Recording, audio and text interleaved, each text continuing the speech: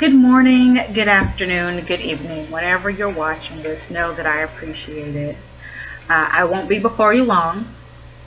Got some things I got to do, so uh, I'm going to make this quick. And besides, I'm a little hot with this sweater on, even though I've got the fan blowing on me, which you may hear. I'm not sure. But um, today's blog is up on, on uh, my daughter's mentor page. And um, I will make sure to put the link in the, in, below in the description box. But today's blog and the video, the blog, are both entitled Victim, Victimizer, or Victorious. And I came to that because I have on many occasions witnessed someone living in the victim lifestyle um, for whatever reason.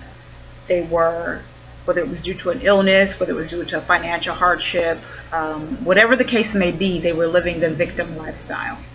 And there is a difference between being overcome by an illness or being um, hit with a financial hardship and then wallowing, or I should say, not and then, but or wallowing in that situation. Um, I know that with illness, it's very difficult, specific, you know, especially, I, mean, especially depending upon the illness, it's difficult to come out of it if you ever come out of it, but you don't have to live that lifestyle. You don't have to live in that lifestyle of victim.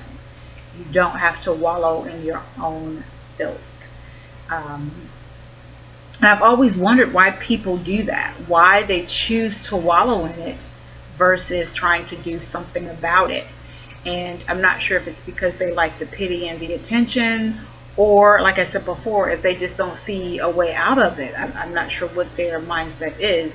Um, and of course when you ask someone that they hit that defense button. So you may not get a real true answer as to why. Um, I know of someone who because of their illness, they, instead of seeking the help that they need to seek, um, and then also doing their part, that they're, you know, doing their part in, in getting better or maintaining, they insist on just saying, woe is me, you know, I can't get out of this. I'm not ever going to get out of this. I'm going to always be sick, so what's the point of me doing anything? There is no cure for this, so what is the point of me doing anything? Um, so this is just where I'm going to be.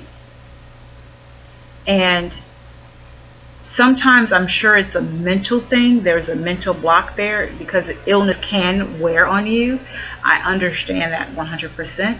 But at other times, I wonder if they're just giving up. They're just giving up.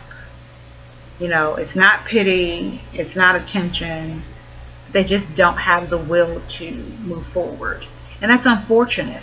It's really unfortunate because God's word says that we are to be the head and not the tail, that we are to be the lender and not the borrower, that we are indeed victorious, that we are um, to, that he came, that Jesus came, so that we may have life and life more abundantly. So that is what the, that's the kind of life that I want to live. That's the kind of life that I want everyone to live. Not just life, but life more abundantly because that is that was his purpose. He wanted us to be saved and he wanted us to be happy and he wanted us to live the life that we were so graciously given abundantly.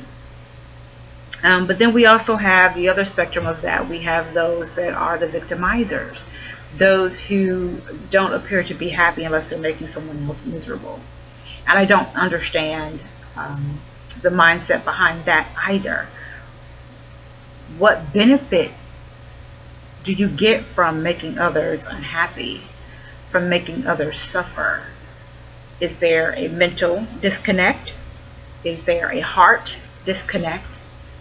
Um, is there an emotional disconnect? What is it that makes you okay with making others feel bad? Um, is it the, you know, the age-old cliche, misery loves company? What is it about life that makes you so pitiful that you have to make others feel less than? What elevation do you get from that? I've never understood that. So I've never understood the victim mentality. I've never understood the victimizer mentality. However, I am so glad that I do understand the victor's mentality. I do understand living victoriously. I do understand being the head and not the tail. I do understand being the lender and not the borrower. I do understand wanting to live my life more abundantly and actively attempting to do that. And that's what I want for others. That's truly what I want for others. I want not only for you to, to walk in your purpose that's been given to you, but I also want you to live life to its fullest because it is a gift. It is a blessing. And it's not by accident that you are here. Now, for those very important pieces that I left out of the first video that I did, there are scriptures, many scriptures, and I won't read any of them, but I will give you all of them. Uh, one specifically, which is the one that I mentioned about, did I mention the man living by the pool of Bethesda for years? Maybe I didn't. But the man lived by the pool of Bethesda without ever getting into the pool. It is said that for once every few years there was an angel that came to stir the water and the first person in the water would be healed of whatever it was that ailed them. And this man lay by the pool for years. For years. Never making it to the pool. He lay by the pool lame.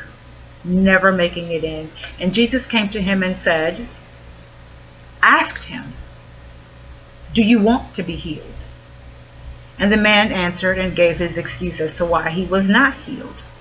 And some would say that at some point in his years, I believe it was 38 years, that he lay by that pool lame, at some point he should have been able to maneuver himself somehow to the edge of that pool so that when that angel came and stirred that water, he would roll right in.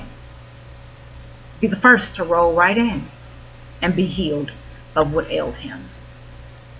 So that scripture is John 5 and 6. John chapter 5, verse 6. That's the victim scripture.